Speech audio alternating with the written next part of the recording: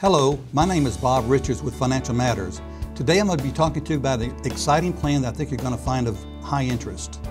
Why would you consider an equity index universal life insurance contract with all the many thousands of different kinds of investments that there are out there? And I must say here that not all life insurance plans are, are efficient. If you're really worried about taxes, you think they're going to be going up and want to keep more of your money, then an equity index universal life insurance plan might be for you. After all, the very rich have tax advisors that help them with tax loopholes and strategies to reduce the taxes that they have to pay. The rest of us are being squeezed with taxes. We have a powerful tool in the EIUL, and as you will see, it might just be for you. My job is to help you reduce wealth transfers. Basically, wealth transfers fall into four main groups. You will see here in just a few minutes money investments with new eyes, the way you pay for your home, other capital purchases and credit cards, the way you fund your retirement account, and the expenses of investment accounts, and of course, taxes. But wait a minute, Bob. What is wrong with qualified plans? Well, really, not very much. Think about it this way they do two things. They defer the tax, you have to pay them sometime in the future, but at what, what, at what tax bracket? They also deferred the tax calculation, and who knows which deductions we're going to have left when that future time rolls around. Think about it another way. The government gives us a small tax deferred break up front, we call that the seed, and then they tax us on everything at the end, we'll call that the crop. If you're not managing your taxes, then they're managing you. Understanding where wealth transfers occur in a mortgage or any capital purchase can prevent unnecessary losses. If you finance, you transfer interest to the lending institution for the privilege of using their money. If you pay cash, you save interest, but you lose interest also because that money no longer earns you interest. We're going to hit you with some famous quotes here. Who do you think said this? The most powerful force in the universe is compound interest. Any, any ideas? If you said Albert Einstein, you're right. Here's another quote. Rule number one, never lose money. Rule number two, never forget rule number one. Who, who do you think said that? Warren Buffett. Now here we have two great minds one a mathematical genius and another an investment genius, and all the things we're going to be talking about today play into these two things. I'm going to cover some questions for you about the plan. What is a cap and a floor? How does a lock-in and reset work? How do we quote the returns in a plan? Guaranteed versus current illustrations. I'm going to explain those to you. We're going to talk about short-term liquidity for tax preferences. Are the insurance companies actually safe? And the, is the IUL too expensive? You will learn what makes this EIUL very exciting. First of all, we're going to talk to you about how the equity index life insurance policy looks. It comes with some very unique benefits. How would you like to have a plan that you could not lose your money? How would you like to also have a plan that would give you potential market gains? We're going to talk to you about lock-in and reset and how that works. I'm going to talk to you about fixed participating loans and collateral capabilities. How would you like to have a plan that you could earn 12% from the market and never less than 2%? The powerful advantage of the locking in the annual gains using the S&P 500 price index. We're going to start off this plan with $100,000 for both the S&P 500 and the EIUL. They both earn 10%. Now the value of both contracts are $110,000. The second year, the market drops 10%. You can see the person who's in the market has lost $11,000. The person who's in the EIUL has locked in their gains for that year and they cannot lose it and the plan resets. But remember, I said there's a 2% floor, so they get a, now worth $112,200. But the third year, the market goes up 5%. The IUL is worth $117,800 and the market is only worth $103,900. That's a 13% spread or a total of $13,800 difference because of that lock-in. Let's look at it a different way, the annual reset and how it works. You notice here the S&P 500 is set at 940 level. It's $100,000. the market drops. It drops to 650. But that 2% floor helps the person in the EIUL, but the person in the market, is, you know, has lost money. The IUL is now worth $102,000. The next year, the market goes up. But take a look at this. The person in the market is not back where they started two years prior to that. They're still behind the eight ball. But the person who's in the IUL has gained up to the 12% cap, and now their plan is worth over $114,200. Now we're going to take a look at one of our many calculators that we work with people with.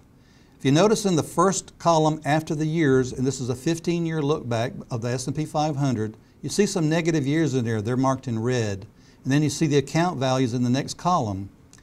The third column over is the rate of return on the IUL, 12% maximum, 2% floor. You see the account values in the last column. What I'd like for you to notice here is that market actually averaged 2.6% and the IUL earned 7.2% as an average. I'd like to point out to you that the market only had a gain of $46,900 and the IUL had a gain of $183,600. But again, we can ask myself the question, Bob, there are no dividends in this. That's correct. However, I want you to pay close attention to the $183,600 number and remember that. And I'd also like to state here that this ignores taxes, fees, and expenses on both sides. Now we're going to look at the S&P 500 total return. We're now adding in the dividends and the capital gains into the, into the plan, and those gains now for the S&P 500 only total a little over $94,400. And again, we have no taxes being paid, fees or loads being charged, and still the $94,400 does not catch up with $183,600 in the IUL. So where are we getting that 7% crediting that we're placing in our plans for you to look at? Here's another one of our calculators. You notice here, this is a look back over a 30-year period. The, the first product here is a zero floor with a 14% cap, and the second one is that 2% floor with a 12% cap. And in here, we have this uh, 15, 20, and 25 year and 30 year rolling actual returns we have the actual in the first level, the best and the worst. And you see here I've circled the worst at 6.9 in the 0 to 14 plan and 7.06 in the uh, other one. If you notice in the second plan, that's the 2% floor with the 12% cap. And the worst 30-year period was over 7.06% return. So why would you might think about considering the IUL when you look at the S&P 500? The author Edward Winslow wrote a book called Blind Faith. His research states 96% of professionals brokers do worse than the S&P 500 price index. So this is why I favor the IULs. If Winslow is right, then why not move money into a protected plan that you cannot lose money that is linked to the S&P 500 price index? We're going to talk to you about comparing the guaranteed versus current columns and also the cost of an EIUL versus a non-qualified investment plans. I'm going to cover the guaranteed versus current cost of insurance, the guaranteed versus current crediting rates, adjusting the death benefit, and the fixed account crediting versus the index crediting. The current assumptions, I'm going to make them as simple as possible. The current cost of insurance and death benefit must meet the guidelines, and they fall under the laws of DEFRA, TEFRA, and TAMRA. The guaranteed death benefit could be lowered, but we're not allowed to illustrate this. We must illustrate the guaranteed and current death benefits exactly the same. If the insurance company should increase the current cost of insurance, we can offset this by lowering the death benefit by the same percent. This will allow the policy to not violate the modified endowment contract rules. By lowering the face amount, this will allow the policy to perform as a maximum efficient contract. Although this could happen, it has never happened. This is a guaranteed page of one of our illustrations. You notice here what's happening. You got the premiums going in and things begin to happen as time progresses. But I want to also emphasize here that this is only guaranteed assumptions. And for this to happen, the guaranteed cost of insurance must be charged by the insurance company after the first month There's no index crediting for the total 29 year period. The policy is funded as a five pay. There's no death benefit reduction after that first month. We don't move into the fixed account, and we don't move to an, another indexing strategy. Although this is possible, but you can see why we would never let this happen, and you see the circled area there at the bottom. Here's the current values, and we notice here on the right-hand upper side there, we're quoting a 7% current rate. In the first year, the, the premium went in. We do lose some liquidity that first year, but anytime you're moving from a taxable plan to a tax-free plan, you have to give up a little bit here or there. And you notice that first year the values are, are less than the first year paid in. But look what happens the second year the premium is paid in. The values jump over that amount of the premium paid in. And by the fifth year, the approximate value is at or above the total amount paid in. In the 13th year, the law allows us to lower the death benefit and get it into what is called corridor. The corridor is the difference between the cash value and the death benefit. This area here is what makes the plan most tax efficient where your returns are actually much better. Now, posing for a moment, we're going to compare the safety of banks and insurance companies. Both banks and insurance companies operate on a fractional reserve system. Banks operate on a 4 to 10% reserve requirement and they're backed by the FDIC. What are the banks doing? Their Tier 1 assets, that's their core reserves, consist of cash, treasury bills, precious metals, and oh my, permanent life insurance. This is bank owned life insurance. So why don't we do what the banks are doing? I have here listed five popular, well-known banks. And the middle column here has the cash values of those contracts in the billions of dollars. So in summary, banks typically reserve 10% or less of their assets. Bank-owned life insurance is one of the fastest growing assets for banks and their Tier 1 money. The Tier 1 money is their safest money. And there's the source where that information comes from. So you have to ask yourself this question. Why are the banks storing their reserves in permanent life insurance and telling us to put our money in the bank? The actuarial reserves, I'm going to explain that to you. The states regulate insurers and they're required to reserve assets of 100% to pay for future liabilities. The insurance carrier's actuarial reserve requirement is based on future obligations. This 100% reserving is a higher standard than the 4 to 10% of deposits that the FDIC requires. Here's another good question for you. I've always heard that life insurance is really expensive. Life insurance is expensive, but compared to what? You should compare it fairly with any other options, including all related expenses. That could be taxation on the investment, loads on investment and trading fees, management fees, and term insurance costs. You know that old saying, buy term and invest the difference? You got to calculate that in there too. Here's a page from our, one of our illustrations that talks about all the costs within the insurance plan. If you notice here, after 12 years, the total cost and expenses in that insurance plan are a little over $67,100. But look what happens when we drop it into corridor. The year 13, it drops to $461. That's based on a value of over $302,800 or 15 basis points. Now we're going to look at our calculator again at the investment side. And we're going to be talking about a good rate of return of 8.5%. I'm sure a lot of you folks out there would really like to get that 8.5% every year, but you know that won't happen in the market, but we're giving it to you anyway. We're going to, going to be talking about a management fee of one half a percent. And I'd be really surprised if anybody is not paying more than 1 to 2% for management fees. We're going to include a 25% ordinary tax rate. If you notice the columns here, we have the $40,000 a year premiums going in. The next column is the management fees. Then you see the rate of return of 8.5% I mentioned, the years, and then the ordinary taxes that are being paid on the returns, and then the accumulations as they go forward. The total for that 12-year period in management fees is over $14,200. So don't let anybody tell you that some types of plans are more expensive than others. And here's the taxes for those total year, 12 years, $55,400 for a grand total of over $69,700.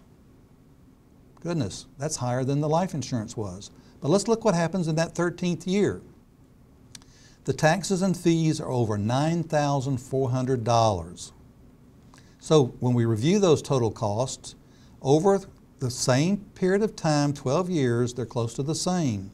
In year 13, the taxable investment is $9,405. The permanent life insurance plan is now dropped to $461. And this spread continues to get larger with the compounding growth. A note here, this does not include investment loads, trading fees, or optional term insurance costs. And I'd also like to add that if you're in a retirement plan, you still have to pay the taxes. How many of these benefits do you want?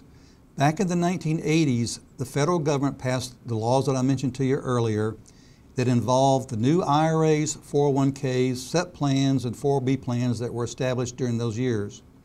They did put some regulations on the life insurance too, and they call, fall under what we call a modified endowment contract.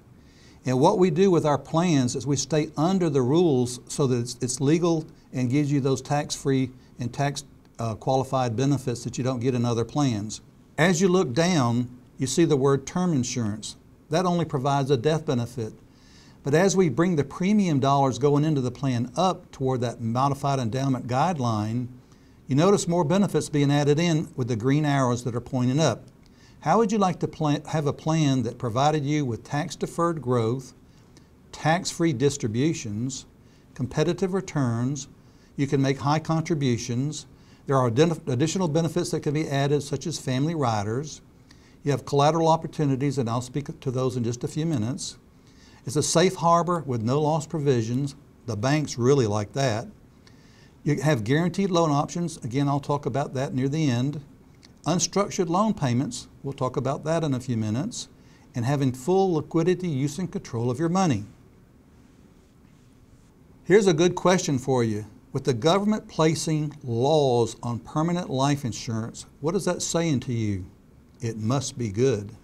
Here's some additional benefits that may be picked up in the IUL. It can, in some cases, help reduce Social Security uh, taxation, because distributions from IULs are not considered income.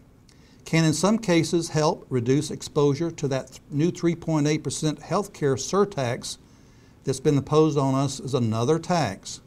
For more information, you can talk to me about that, and of course, we need for you to talk to your tax advisor. I'm going to show you now how to capture opportunities, capture market momentum, get uninterrupted compounding, and also doing this while protecting your contract values. Let's go to the whiteboard and I'll show you some exciting ways to utilize this plan. What I'd like to share with you now are some exciting things that are in the IUL that you've probably never heard before. People need to understand when you put money into a plan like this, you have, you still maintain your liquidity use and control.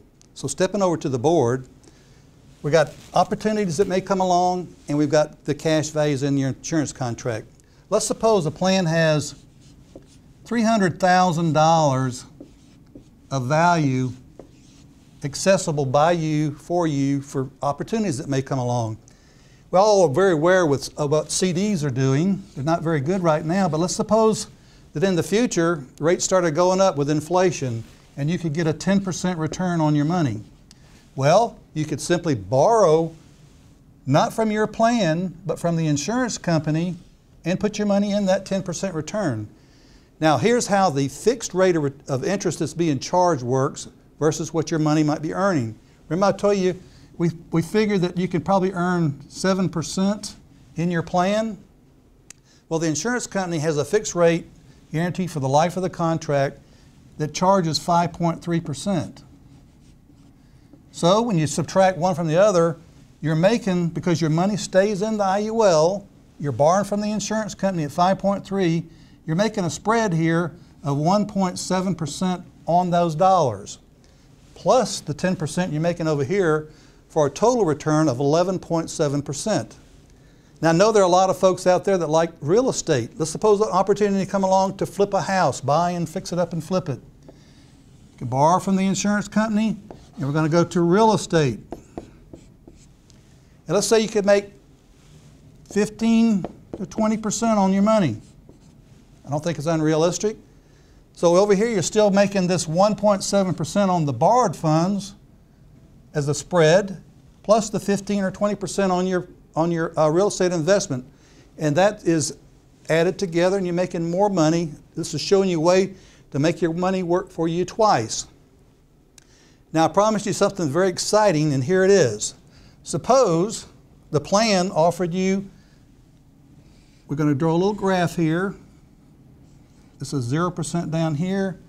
You could earn 100% of the S&P 500 with just a 2% spread. Subtracted from that. So if you made 20%, you'd be credited with 18. Now, the insurance company has a contract with another company who's going to manage this, and they're going to have the ability to move money back and forth between a bond fund, a bond index fund. And as we all may know, when the market is doing very good, it's better to be in the S&P 500. Remember, Winslow said if, if you're in an S&P 500 index plan, you might be doing 96% better than all the brokers out there who are taking care of your money. Now, if the market goes down, they have the ability to shift the money into the bond fund because when the markets are doing bad, we know that bond funds tend to do a little better. So they have the ability to move money back and forth to take advantage of market conditions and opportunities that may come along. You have an advantage here, and so does your plan. The annuities I offer have the same market index strategy. There are reasons why an annuity might be a fit. It could be your health, your age, and qualified retirement plans are just a few. The key to this is to get the market gains and never lose money. However, the spread on this plan that I'm about to share with you is only 1.5%. In my opinion, annuities are as good as any pension, and I've listed here the annuity, an employer pension, and also 401ks, IRAs, SEPs, and 403bs, and, all, and a myriad of different kind of retirement plans that may be out there. Which ones are guaranteed for life? The annuity, yes. The employer pension, yes. The others, no. They have increasing income, yes for the annuity, yes or no, only a yes with cost of living adjustments, and under the others, you can run out of money if you take out too much. Guaranteed payments when the account is out of money. The annuity, yes. The pension, yes. And the 401ks and IRAs and other plans, no. Those that have optional benefits for increasing, for nursing home use, hospital and assisted living facilities, yes for the annuity, no for the employer pension, and yes for the private plans, but they can run out of money. Payments to surviving spouses. Yes for the annuity, yes for the employer pension, and yes for the others, but they can run out of money. Low or no expenses. Yes for the annuity, yes for the employer pension, and no for the 401ks and IRAs, unless maybe they're in something like CDs or money markets or government bonds. The cash balances to the beneficiary. Yes for the annuity, no for the pension, and yes for the other plans a guarantee with no principal loss provisions. Yes with the annuity, yes with the employer pension, and no for the others. I'm at the end of my presentation. I hope you enjoyed it. Hope you learned something today. I look forward to talking to you if you have further questions. You have my address and you have my cell phone number. Please reach out to me. Have a nice afternoon. Thank you.